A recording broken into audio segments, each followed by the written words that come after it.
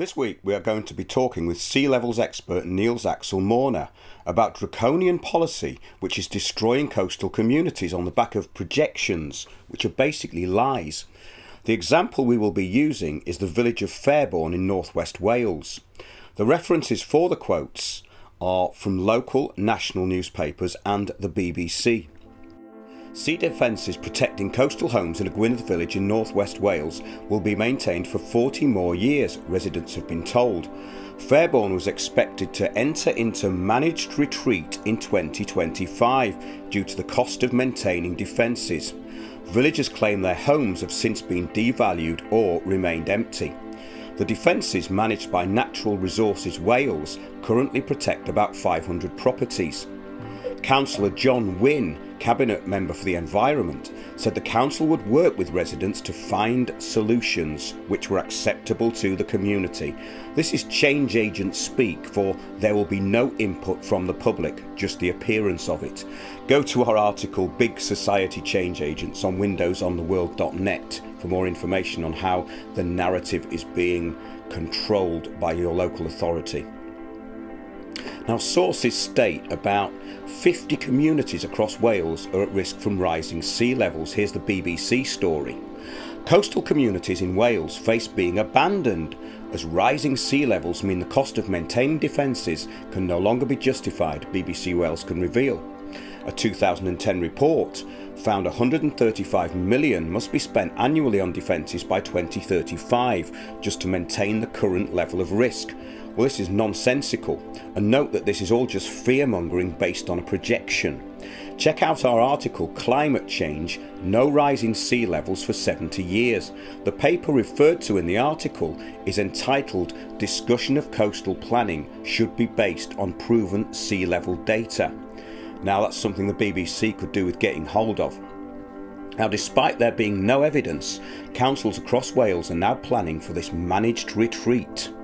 Natural Resources Minister Alun Davies said it was not currently part of Welsh Government policy.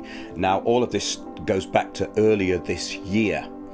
But BBC Wales week in, week out has found local authorities around Wales are already making preparations. Fairbourne in Gwynedd is expected to enter into managed retreat in 2025. It is one of around 50 communities listed as being in such areas in the next 45 years. This is part of a massive depopulation programme of the countryside. Now, more than 400 homes are expected to be abandoned in the village by 2055 as part of that policy. The advice to retreat from some communities comes from Shoreline Management Plans or SMPs, which draw up a future strategy based on the state of existing defences, the economic importance of the area, and the information on sea level rises. So, what they're doing here is they're basically saying these villages are unsustainable, both financially and the infrastructure. That's really what they're doing. It's all part of this Agenda 21 or Agenda 2030 that no one's heard about, but we've been talking about for many years. It carries on. Flood consultant Mary Dhonau calls for a halt to floodplain home building and agrees with withdrawal from coastal areas where sea levels are rising. Again, she's not an expert.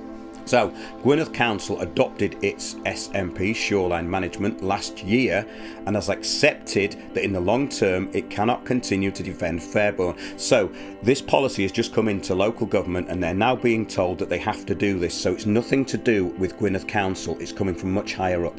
The plan is trying to sustain the position in the short term, but in the longer term, we will have to have that managed retreat, Gwynedd Council leader Dyfed Edwards said. These people really need to be made accountable for what they're saying here.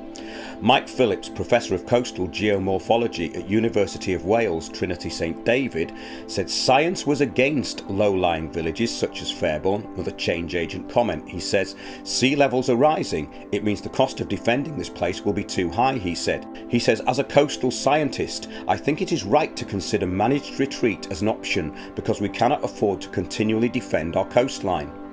A 2010 report by Natural Resources Wales its predecessor body of Environment Agency Wales, found 135 million needed to be spent annually on flood and coastal defences by 2035 just to maintain the current level of risk. Again, there's no evidence to back up their claims of this risk. The community has formed the Fairbourne Facing Change Community Action Group to identify the issues it wants to see addressed and to explore how they can be dealt with. Residents have also written to First Minister Carwyn Jones outlining their opposition and say they are looking to launch a legal challenge. Well, this is where today's show comes in because launching a legal challenge against that would be very interesting. The spokesman for the council said it had communicated the plans through community councils and meetings held recently were the first step in raising awareness of the consequences of coastal changes locally. Quote, rather than ignore the inevitable, the shoreline management plan for the west of Wales focuses in detail on how these changes will affect coastal communities along the 180 mile of the county's coastline, the spokesman said. Now that the work of presenting the SMP document to the community and town councils across Gwynedd has been completed, the next stage will focus on presenting information to the wider community. A community newsletter will be sent out and three public meetings to discuss the plans will be held later this year, he added. So, what we've got here is the council controlling the narrative. The community meetings will be held using something called Delphi technique, which is used in all public meetings, and you need to look that up. It's the way that public meetings are controlled by a facilitator to an intended outcome. The important thing is here that people will not be given a choice, so they have to fight back against this.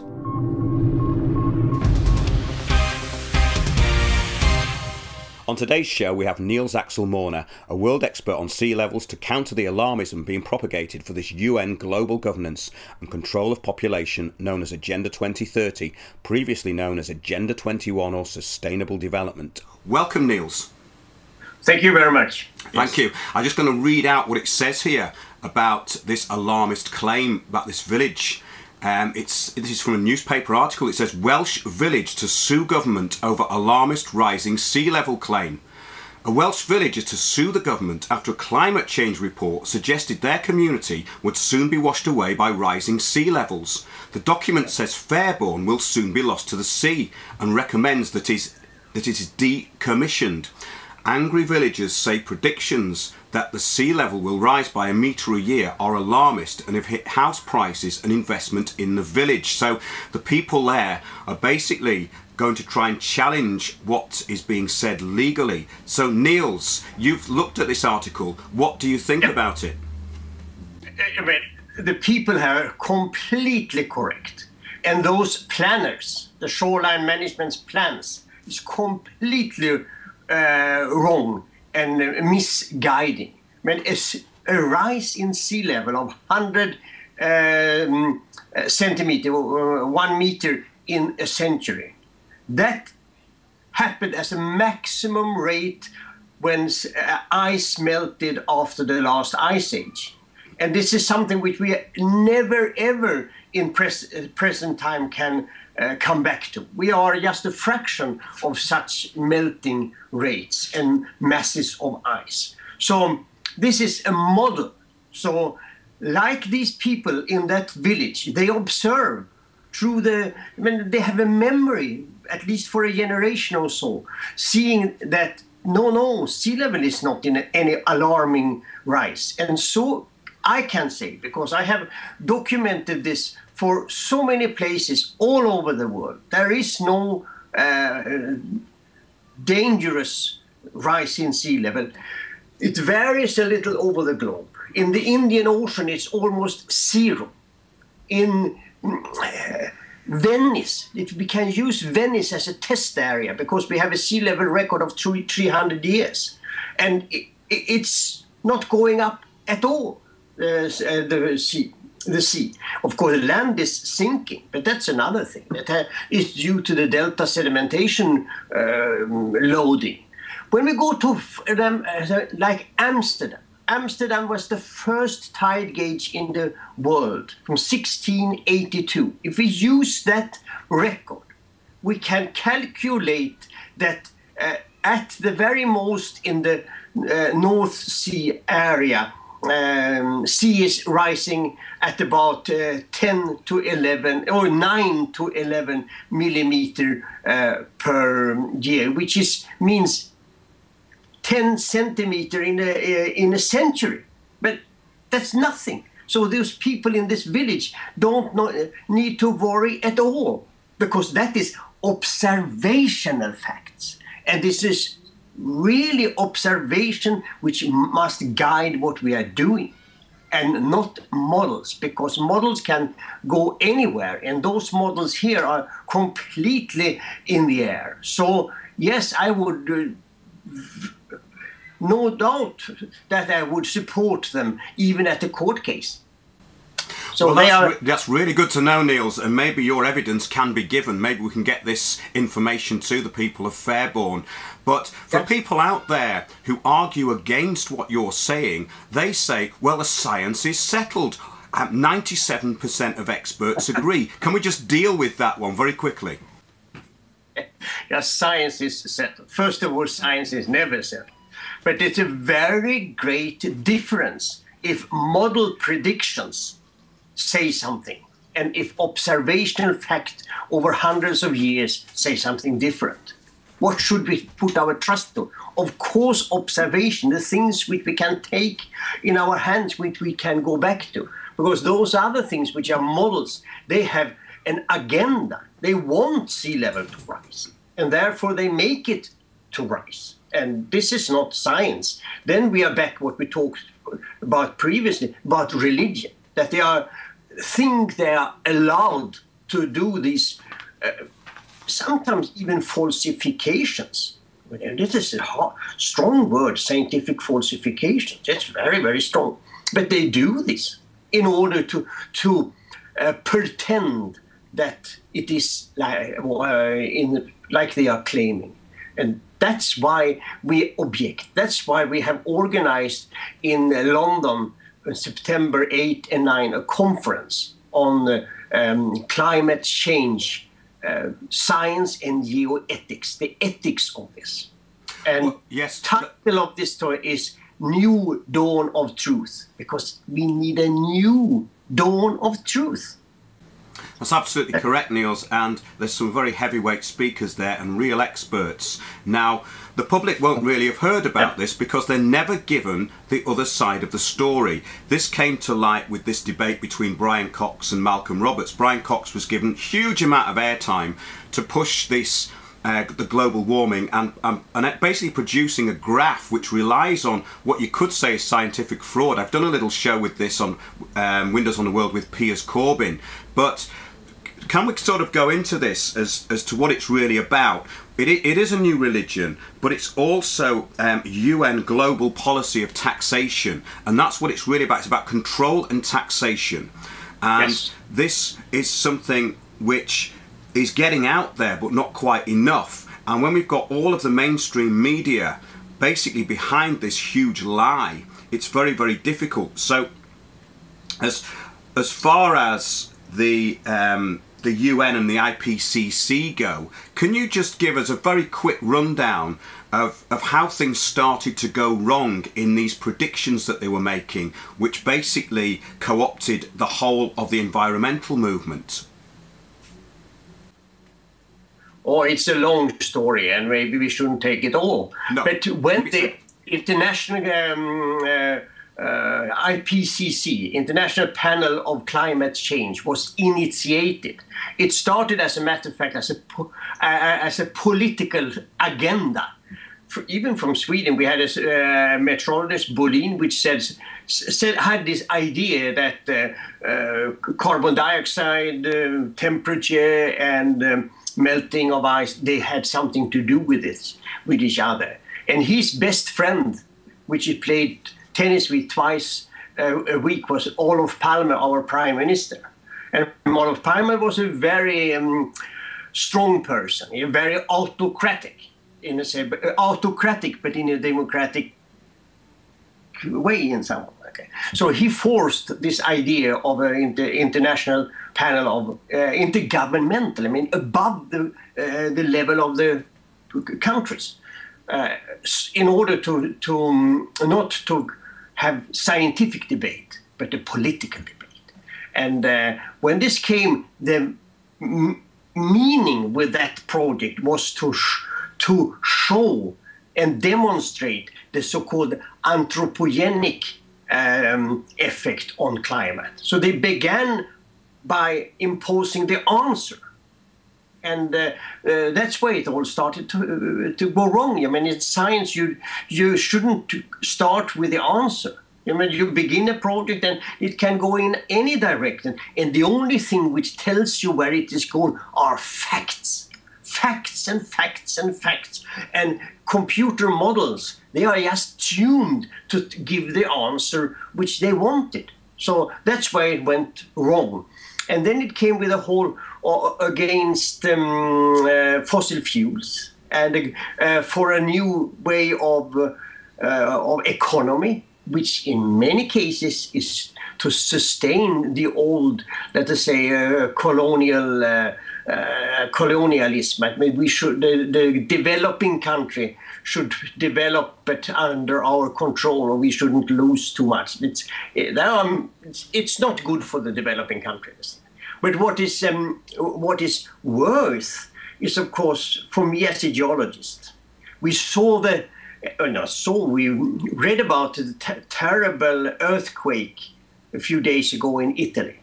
This is the real Earth, real Earth with its tremendous forces which are imposed on us and give very terrible things happen first tsunamis, uh, nuclear power plants which breaks down, and uh, earthquakes water dams, uh, water floodings, and all these things.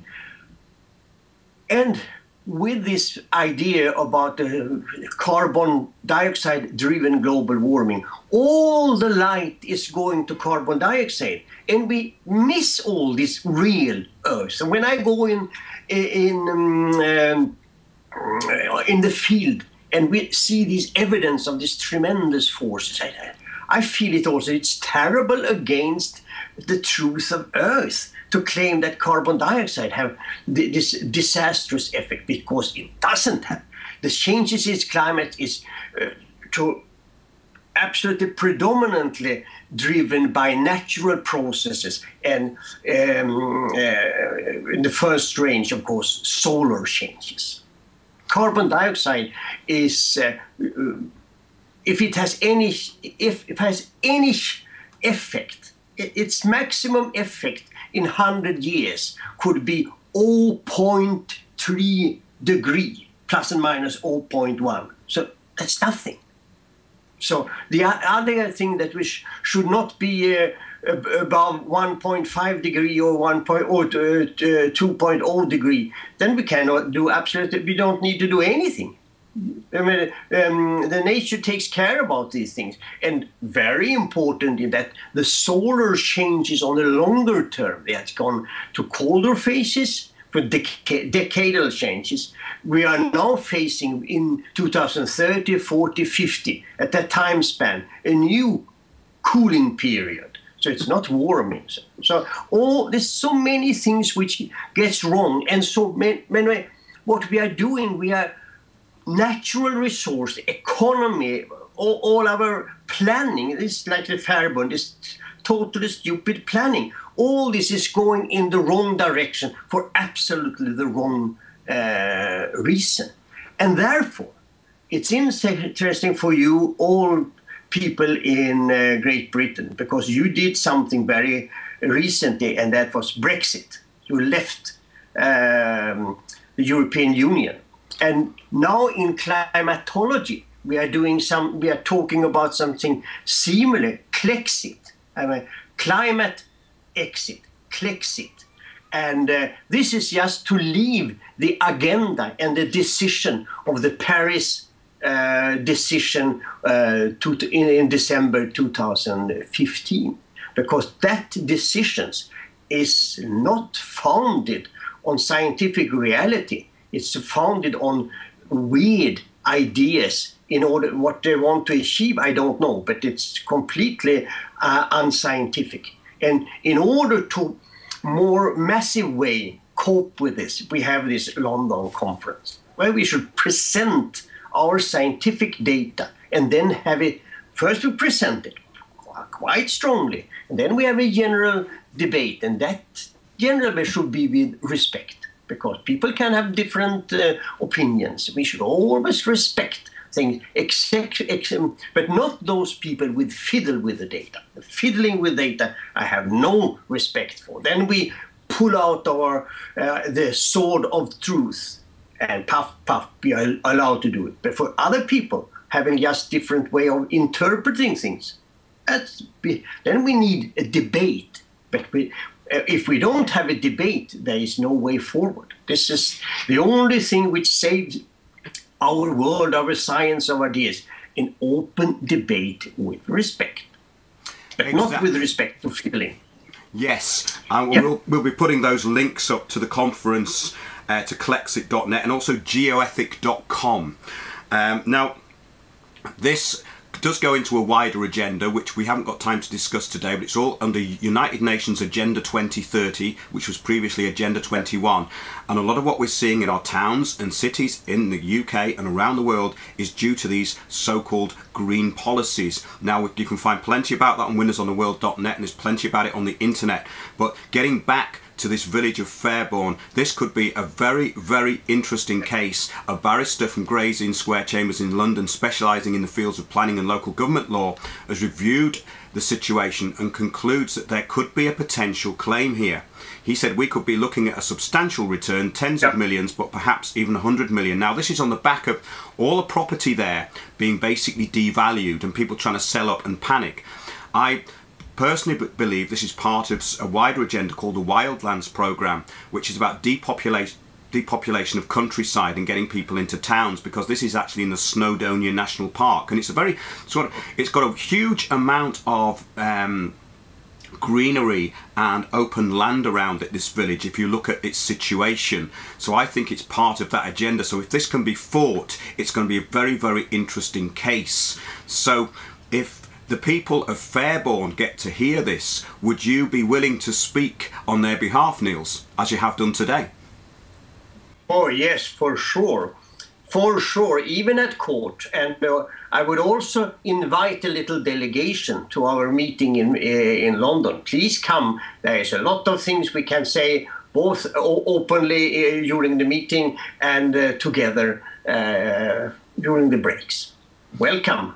And uh, good luck for the future because uh, uh, must say one final thing. For us which have another different uh, opinion about carbon dioxide why do, do we drive this? We drive it for two reasons. We are also i'm a deep environmentalist. I love nature and i would protect it by, in, by all means. But doing this we have to have honesty. We have, have to have truth. And if observational fact must be above very strange, sometimes even stupid, sometimes even uh, purposely done miscalculation by computers.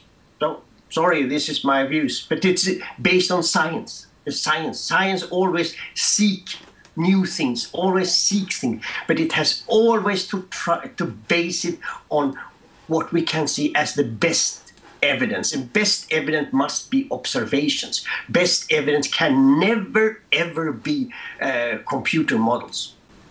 No, that's absolutely right. And we, we covered this in our last interview, which I'm going to link to this one. You can find that on YouTube, and it's called Climate Change. A new religion with Nils Axel Morner. We went into that quite deeply and what that's really about and how it's being promoted. Um, but this is just a short interview today. So, Nils, can you just tell us about the London conference? Oh, this is uh, on the 8th and 9th uh, of September. First day we will have uh, discussed the natural uh, driving forces and show the evidence for this. And there is one where we'll explain, for example, uh, uh, the ENSO events, how is this being driven? There are lots of very elegant papers. We will have an ending debate on, uh, natural um, threats versus this uh, threats in the invaded, invented uh, threat of carbon dioxide. Then the second day will be on how wrong it has gone by putting all uh, the emphasis on uh, on carbon dioxide and what that means on a global scale economically uh, and with respect to poverty and consideration for other people and for environment that has gone wrong there. And when with this is, I, and there is a session on sea level, of course, also. When this is uh, finished, we have a one and a half hour general discussion where we should, and then instead of putting all the hard evidence, we go to open-minded, respectful discussion, and we respect everything which is a different opinion. We don't respect those who fiddle with the data uh, in order to achieve something which they can claim one meter sea level or half a meter sea level, when the, rea- uh, the real world say just a few decimeter at the most. So Fairbourne could rest very peace uh, in peace and don't worry about about uh, any change. But come to us and listen if you are uh, available. Well, that's that's eh? great, Nils. Yes, because what we're not getting from the mainstream media is any kind of balance. They're all bought into this agenda, and they seem to use every dirty trick in the book against people who speak out against it. And this is because we're talking about global governance here. But that's great, Nils. Thanks for being on Windows on the World, and we'll catch up with you very soon. Thank you. You are welcome.